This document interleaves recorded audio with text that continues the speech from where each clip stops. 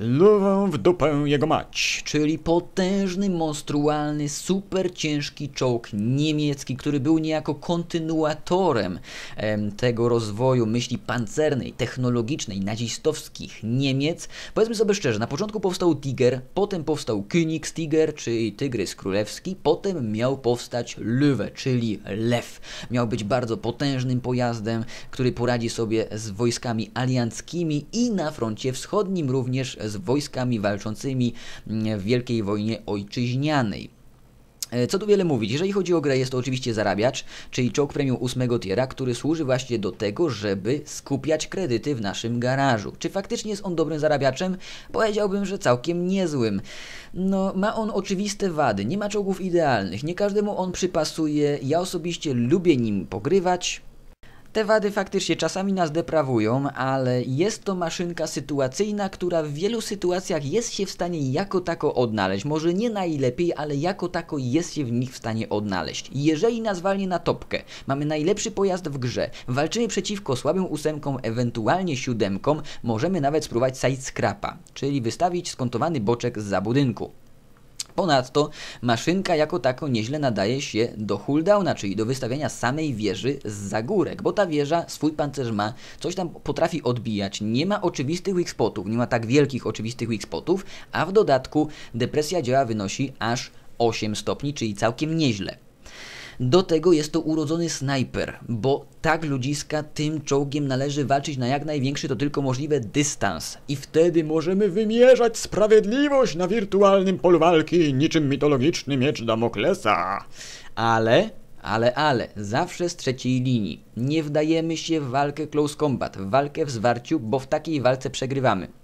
Mamy papierowy korpus, więc jeżeli idziemy na fachową wymianę pestek, wróg nas będzie przebijał i prawdopodobnie wklepie nam więcej damage'u w minutę niż my jemu, bo damage na minutę aż tak potwornie na tym dziale nie zachwyca. Działo jest typowym snajperem, zresztą każda specyfika tej maszyny sprawia, że walczymy nią na wielki dystans. Twórcy gry zdają się nam mówić Ej, moronie, stójrzesz, nie jedź do przodu, stój na wielki dystans. prawda?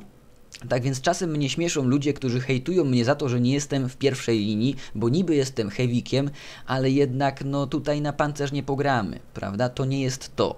Pojazd jest mało mobilny, to raz. Ponadto ma papierowy korpus, to dwa. No i do tego pali się niczym piękna dziewoja na widok mniem. Tak. Dor. Dosyć już tego typu sucharów. E, Prawda jest taka, że maszynka dawniej paliła się pieruńsko często. Jeżeli ktoś nam strzelił w brzuszek od razu, no było to również sygnowane pożarem. Co było bardzo przykre. Podczas którejś tam aktualizacji Wargaming troszeczkę zredefiniował system podpaleń w tej grze, więc teraz te pożarki nie zdarzają się tak często jak dawniej ale jednak czasem się zdarzają. Kryjmy swój brzuszek, kryjmy silnik, bo warto go e, kryć. Tak jak mówiłem, korpus jest papierowy, maszynka jest wolna, ma świetne snajperskie działo, no i troszeczkę twardą wieżę. Yy, a jeżeli chodzi o to działo, no zobaczcie, szybkostrzelność jest niska, prawda? Więc na minutę takiego damage'u nie zadamy, jak na przykład ISM 6 albo KW 5. W dodatku, średni damage na jeden strzał, no dałoby się, żeby był lepszy. Nie jest zachwycający, nie jest fatalny, no ale dałoby się, żeby był lepszy. Ale za to zobaczcie na penetrację. 234 zwykłą, zwykłą pestką, 294 pestką premium, czyli prawda, pociskiem podkalibrowym. To sprawia, że nawet jeżeli nas walnie na dychy, jesteśmy w stanie nawiązać walkę. Nie łudźcie się, nie mówię, że będzie to walka przyjemna, bo nie będzie, bo żadna walka z tierami dwukrotnie lepszymi od naszego samego nie jest walką przyjemną. Ósemka na dychach może ugrać dobrą bitwę, ale nigdy to nie będzie bitwa przyjemna, bo się stresujemy, bo mamy znacznie, znacznie, znacznie gorszy pojazd niż nasi wrogowie, których prawdopodobnie spotkamy na swojej drodze. Jak szóstka ma walczyć z ósemkami? Jak piątka ma walczyć z siódemkami? Jak ósemka ma walczyć z dyszkami? No słabo, ten matchmaking jest po prostu matchmakingiem z dupy. Gra jest niepoprawnie zaprojektowana, bo czasem dobry gracz budzi się z ręką w majtkach, nie jest w stanie zrobić totalnie kompletnie nic. Podobnie jest w tym przypadku. Mogę ten przypadek skomentować w jeden sposób. Tyle w temacie. Jeżeli was walnie na dychy, nie będzie dobrze. Nie będzie fajnie, nie będzie przyjemnie. Jak was walnie na swoje tiery, no to już możecie ugrać fajną bitwę i zarabiać. Jedziemy dalej. Ale tak, to, to można powiedzieć odnośnie każdego ósmego tieru, który nie posiada preferencyjnego matchmakingu. Powiedzmy sobie szczerze, Lüwe nie jest wyjątkiem. Dalej jest oczywiście VK 4502P Aufs B, czyli tak naprawdę jest to historyczny Tygrys II, który nie został zarekomendowany do produkcji seryjnej, dlatego że do przetargu o miano Tygrysa II wystartowały trzy projekty, przy czym dwa projekty były to projekty Ferdynanda Porsche. Z tego co wiemy, e, żaden z tych projektów Ferdynanda Porsche nie wygrał. A gdyby wygrał, no to właśnie jednym z tych projektów była ta fałka. Nieprawdopodobnie dobrze opancerzona, pancerna, świńska maciora, która w chamski, brutalny sposób ryje się do walki close combat i zazwyczaj ociekając krwią po prostu zwyciężamy. Specyfika tej maszyny. Powiedziałbym tak. Pancerz, yy, do tego pancerz, a do tego door. Czekajcie, zapomniałem, jak to będzie. Aha, wiem, pancerz. No właśnie, pancerz, pancerz, pancerz. Trzy razy P. O to chodzi w tym pojeździe. On po prostu wdupia się w największy wir walki i jeżeli tylko wrogowie stoją do nas przodem, bo trzeba się pilnować, żeby nas nie okrążyli, jeżeli tylko stoją do nas przodem, no to jesteśmy jak w bajce. jesteśmy jak w domu, bo wrogowie naprawdę mają potężny problem z przebijaniem tego pojazdu. Ósemki się od nas odbijają, dziewiątki się od nas odbijają. Z dyszkami bywa różnie, no bo to są dyszki, prawda? Ale również potrafią się od nas odbijać mamy aż 200 mm pancerza na korpusie, który jest jeszcze skontowany i to całkiem ładnie. Aż 252 mm pancerza na wieży. Odbijacie makabrycznie dużo pocisków. Jesteście wolni, jesteście toporni, ale za to odbijacie. No i do tego dochodzi działo, typowe działo dziewiątki, które jest bardzo dobre, niezwykle mi się podobują pod względem e, swojej specyfiki. Gra się tym przyjemnie, chyba że nie zdążycie dojechać do wrogów. No najczęściej właśnie nieudana bitwa jest związana z tym, że nie dążycie do nich dojechać. Ewentualnie, jeżeli już do nich dojedziecie, zostajecie sami i również nie do końca radzicie sobie w takiej sytuacji, bo szybkostrzelność działa jest zbyt niska i skromna, żeby poradzić sobie z wieloma wrogami naraz, podczas gdy mogą nas okrążyć, wymanewrować, prawda? No wtedy bywa gorzej, ale powiem Wam, że maszynka jest bardzo mocna, można się nią nieprawdopodobnie świetnie bawić i faktycznie możliwość rykoszetowania nawet dziesiątych tierów czasem sprawia, że aż przyjemnie jest sobie włączyć bitewkę tym potworem. Zupełnie inaczej jest, jeżeli chodzi o esetę. Tak, ludziska, mam esetę już od dłuższego czasu, ale w ogóle nią nie gram, dlatego że czekam, aż będę miał na tyle wiele free expa, żeby przejść na lepszą lufę. Tego co wiemy, to jest taki dziwny dziesiąty tier, gdzie faktycznie od początku tego najlepszego działa nie mamy. Mamy działo 128 mm, czyli dokładnie to samo co na tierze dziewiątym. A niestety walczymy już z dychami, prawda? Zobaczcie, jak ogromna jest różnica pomiędzy tymi dwiema armatami. Różnica jest monstrualna. Powiem Wam tak, jeżeli nie wymaksujecie esety, gra się nią po prostu słabo. Dlatego, że zadajecie bardzo niewielki damage na minutę. W dodatku, no na jeden strzał to jest tylko 490. Jak na tego typu dyszkę to jest mało.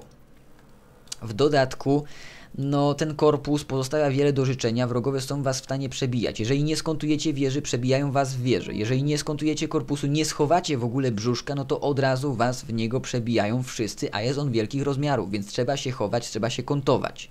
Jeżeli natomiast go ulepszycie, jeżeli nabędziecie lepsze działo, które wali aż za 750, Mózg rozwalony! 750 jednym strzałem. To jest prawie jak Tedek i to świetny Tedek.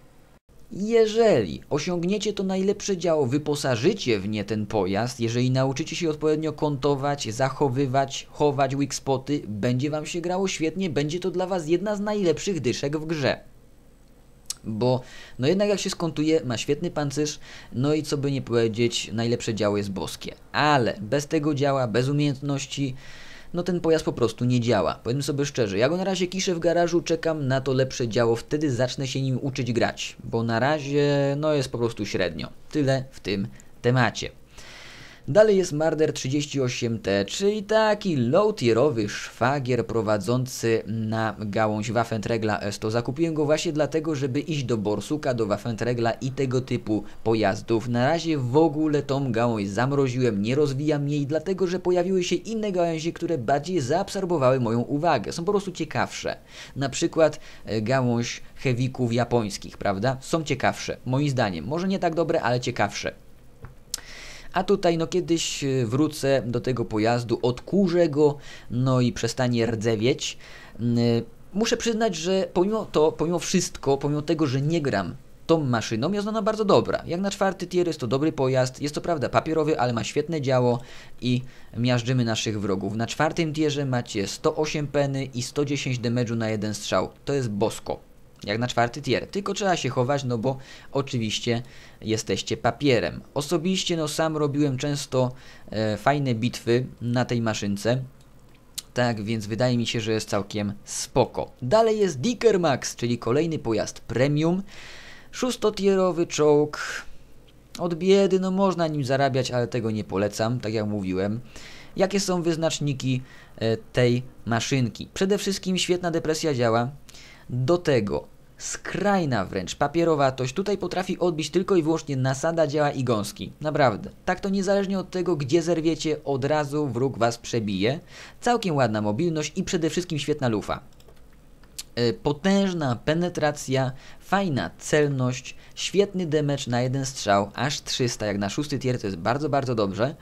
Tak więc to sprawia, że idzie tym ugrywać fajne bitwy, idzie się tym całkiem zacnie bawić, aczkolwiek no ja jednak lubię pojazdy, które cokolwiek potrafią odbić, prawda? Nie wiem czemu, sam nie wiem czemu, naprawdę nie mam zielonego pojęcia, ale bardziej sobie upodobałem Susto-Y, jeżeli chodzi o te szóste tiery premium.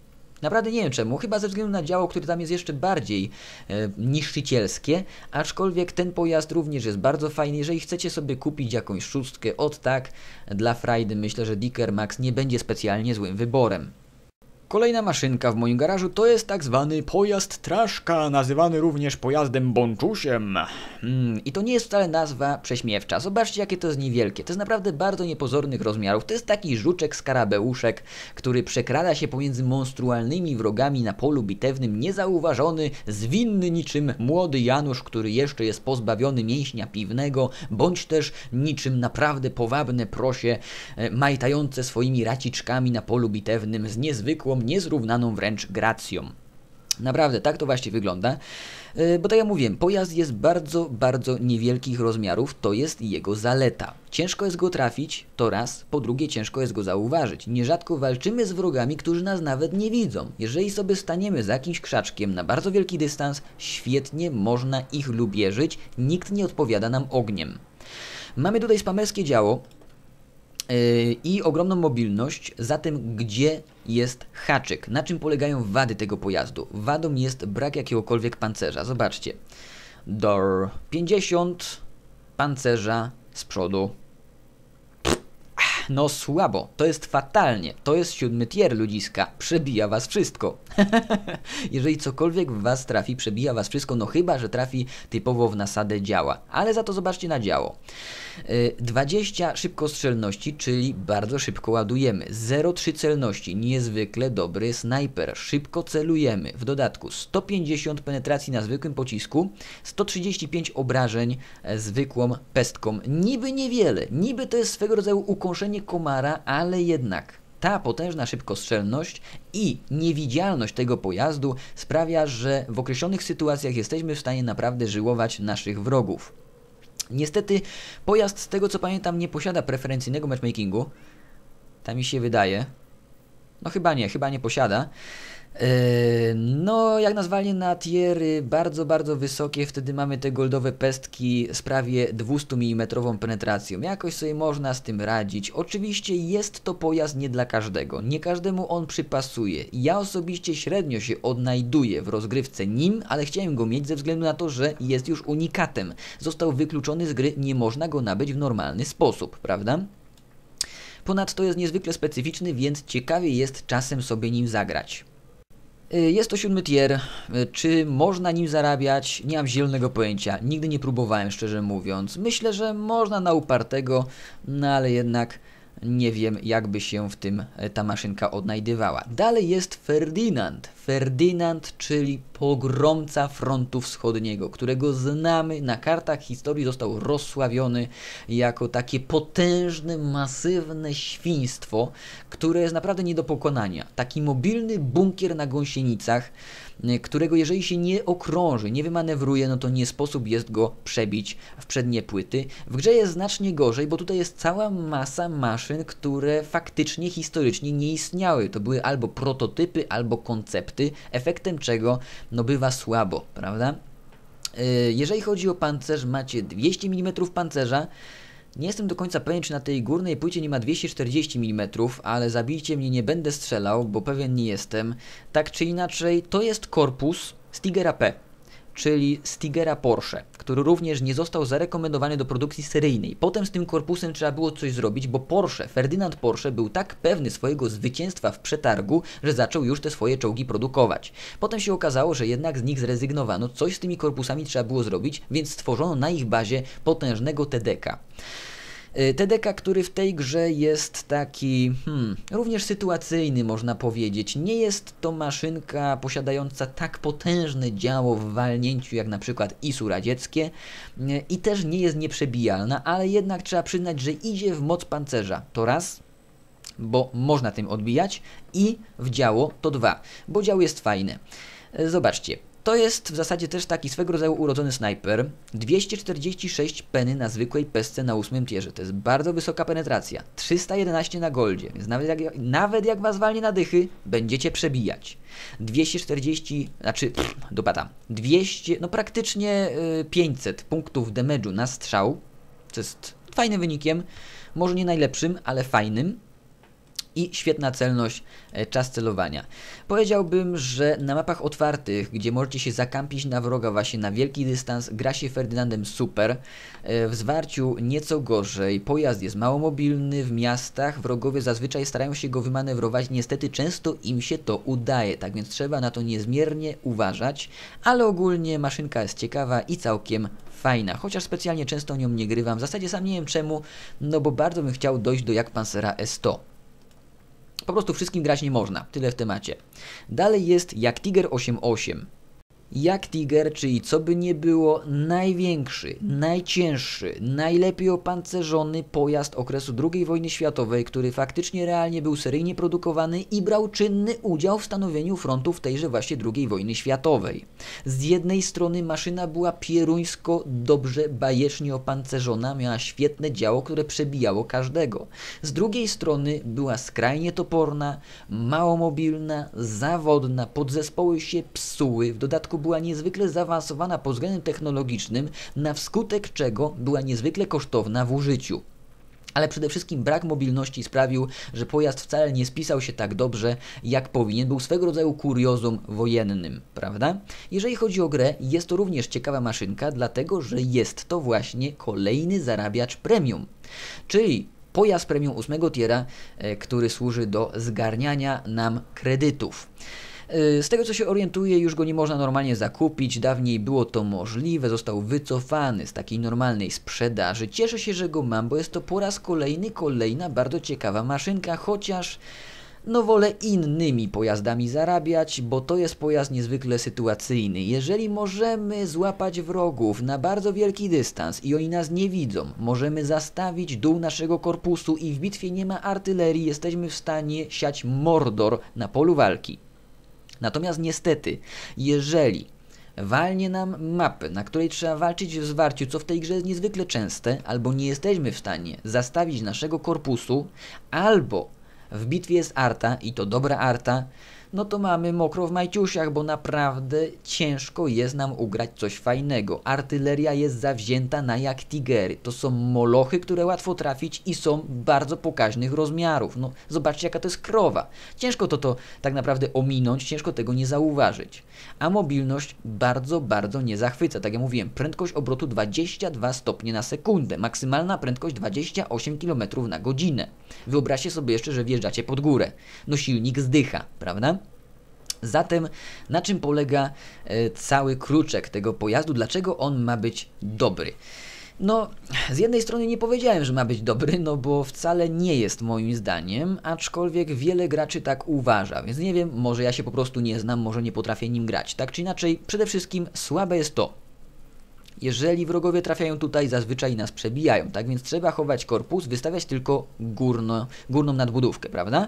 Jeżeli to zrobicie, jeżeli wróg was nie okrąży, no to wtedy do głosu przechodzi działo, które ma największy damage na minutę, chyba zdaje się nawet ze wszystkich czołgów premium 8 tiera.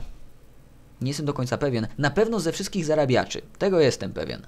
Zobaczcie, 11 strzałów na minutę, bardzo dużo. Penetracja całkiem fajna, a biorąc pod uwagę fakt, że on ma preferencyjny matchmaking, to penetracja jest w zupełności wystarczająca. 203 mm na zwykłej pesce, 237 na goldowym pocisku.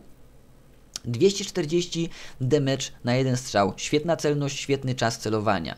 Niestety damage na jeden strzał jest bardzo, bardzo niewielki, bo to jest lufa ze zwykłego Tygrysa. To jest 88 niemiecka, dlatego że pod koniec okresu II wojny światowej, kiedy już był niedobór zaopatrzeniowy, linie produkcyjne były zbombardowane, starano się wypuszczać te pojazdy z czymkolwiek się dało. Niemcy mieli działa kaliber 8.8, nie mieli już kaliber 128, dlatego montowali do jak Zwykłe działa z Tygrysa, prawda? Konkludując, powiedziałbym, że cieszę się z tego, że ten pojazd mam. Jest bardzo ciekawy. Jest to maszynka sytuacyjna, czasem można niezwykle świetnie się nią bawić i sporo kredytów zarabiać, bo ma niezwykle tanie pestki, ale z drugiej strony powiem Wam, że jako zarabiacza nie polecam. Naprawdę nie polecam, bo tak skrajna toporność, mała mobilność i sytuacyjność tego pojazdu sprawia, że na dłuższą metę, kiedy rozgrywacie nim na przykład 1000 bitew, on już wkurza. Czasem padacie w bitwie tylko i wyłącznie dlatego, że macie na przykład niesprzyjające Wam ukształtowanie terenu. Wystarczy, że nie macie za czym schować dołu korpusu już leżycie. Tak więc no różnie z tym wszystkim bywa. Dalej przechodzimy do Rusków, czyli BT-7 Artillery. Jest to czołg premium trzeciotierowy, który stosunkowo niedawno został nam podarowany przez Wargaming. Nie pamiętam za co, tam chyba z okazji świąt czy czegoś tam. Czy może rocznicy firmy, albo DOR... No nie wiem, rocznicy samej gry? Pum, pum, pum. Grzechu, ty ignorancie, dostałeś coś nawet nie wiesz za co. no może i nie wiem za co, ale ważne, że dostałem. E, no i cóż ludziska, bajka się powtarza. Po raz kolejny powtarzam to, co mówiłem przedtem, czyli nie opłaca się tego pojazdu sprzedawać. On służy do frajdy, do zabawy, do tego można powiedzieć, że nawet można go zastosowywać. Jest to pojazd niezwykle zdywersyfikowany, bardzo dziwny, niezbalansowany niestety, ale czasem faktycznie ciekawie idzie się nim bawić. Dlaczego?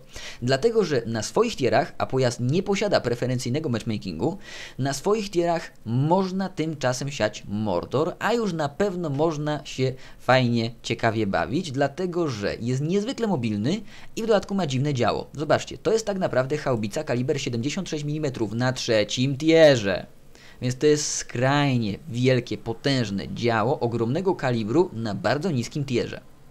Szybkostrzelność nie jest zachwycająca.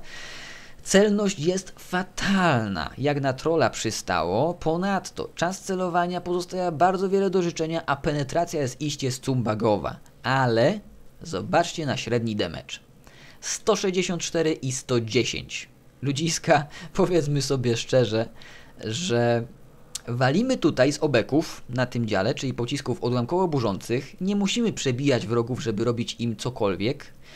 No i to właśnie sprawia, że jest to pojazd niezwykle niezbalansowany, bo jeżeli traficie na swoje tiery, jednym strzałem, który odpowiednio się wstrzeli w maszynę wroga, nierzadko jesteście kogoś w stanie zone-hitować, czyli one hit, one kill. Oddajecie strzał w stronę wroga i jednym strzałem go załatwiacie. Świetna sprawa. Z drugiej jednak strony, jeżeli was walnie na nieprzychylne tiery, w tym przypadku są to tiery piąte, nie zrobicie nic. Tam występujecie jako obserwator. Jesteście po prostu statycznym obserwatorem. Nawet nie jesteście mięsem armatnim, bo nawet mięso armatnie jest w stanie cokolwiek zrobić wrogowi. Wy nie zrobicie nic. Walczycie z piątymi tierami, zadając im na tym dziale no kretyński damage rzędu 6-10 hapeków na strzał. Tak więc, no, bywa bardzo wielorako. Jeżeli na tych piątkach spotkacie przeciwników, którzy nie idą w pancerz, no to faktycznie nawet na piątkach idzie ugrać fajną bitwę. No ale jak spotkacie KW5 albo nawet zwykłego pancera, no to naprawdę no jest fatalnie. Dlatego też powiem Wam, że pojazd jest niezbalansowany, Gra się nim niezwykle wielorako, potrafi dostarczać masę frajdy, czasem potrafi frustrować. Ja go sobie zatrzymałem, bo jestem kolekcjonerem. Wam również polecam go zatrzymać. Wygląda fajnie, gra się nim po prostu ciekawie. Tyle w tym temacie. Jedziemy dalej, lecim na Szczecin, pędzim na Będzin, jedziemy z tym śledziem, mister of magister Janusz.